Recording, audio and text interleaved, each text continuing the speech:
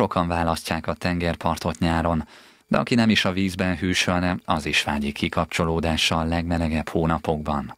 Több ember nem engedhetik meg maguknak a külföldi utazást, úgy érzik, nem telhet el nyár enélkül, így a probléma megoldásaként személyi hitelt vesznek fel sokan milliós nagyságrendűt.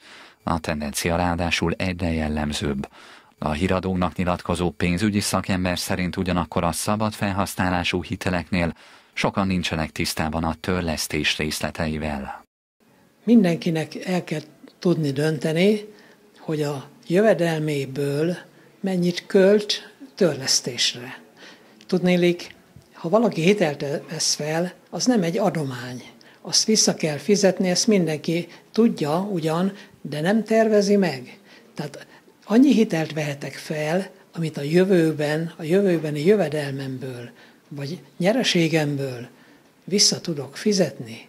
Tehát ez egy megelőlegezés, megelőlegezi, előre hozza a céljait, ugyanakkor a bank pedig megelőlegezi neki a jövedelméből, hogy megvalósítsa a célját.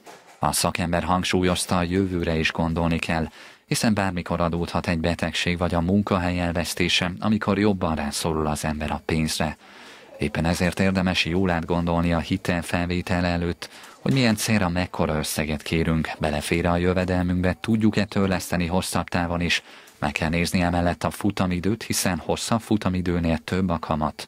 Az is fontos, hogy ez hogyan változik, milyen periódusokban, ez ugyanis megnövelheti a törlesztő részletet.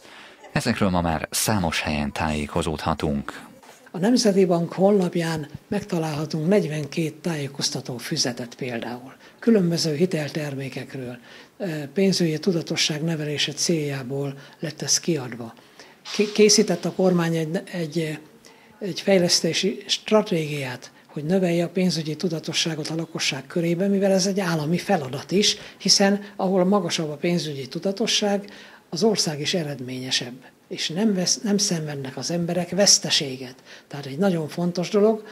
Másrészt pedig tanácsadó irodák működnek, mindenképp eh, el kell menni a tanácsadó irodákba, tájékozódni, ingyenes tanácsadásról van szó.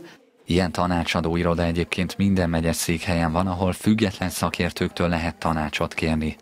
A közgazdás szerint bár az elmúlt években történt előrelépés, és a válság sok embernek felnyitotta a szemét, még mindig sok a feladat a pénzügyi tudatosság kialakítása terén, ráadásul a fiataloknál is.